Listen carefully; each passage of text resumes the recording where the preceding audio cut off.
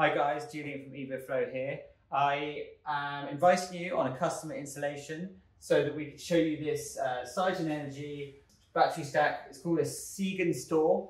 Uh, we've got a 12 kilowatt inverter here. That is absolutely massive.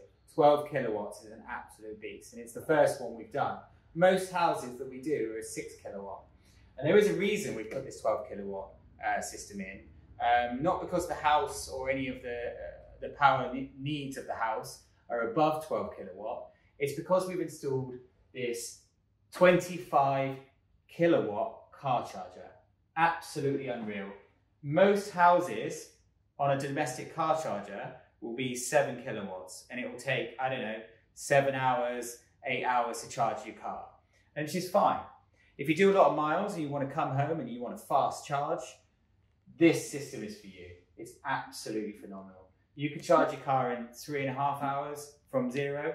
And in order to get the power to the car, uh, 25 kilowatts, it utilizes the 12 kilowatt inverter that we've got up here, which pulls in from the grid, as well as all of the battery stack that you've got down here. So you can just zap all of that power into the car, as well as utilizing all of the solar power if there's lots of sunshine out there which we don't get much of in the UK, but there is a lot more uh, on some days, and certainly in the summer days. So you could be running your car completely off of solar power.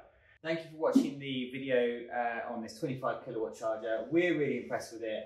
We want customers to get in touch with us and talk more about this because it is a real game changer um, and we're just amazed at how good it is um, which is hence why we're doing a video on it today. Um, just if you guys want to uh, watch our next video, which is a comparison, we're trying to be fair to all the battery manufacturers that we install. So we are doing a video uh, next, uh, which is the Powerwall 3, which is the latest from Tesla. And we're doing a comparison with it against the Sigenergy system and what the pros and cons are, uh, to be fair to all manufacturers. Um, don't forget, Contact details are in the footer uh, or in the description area.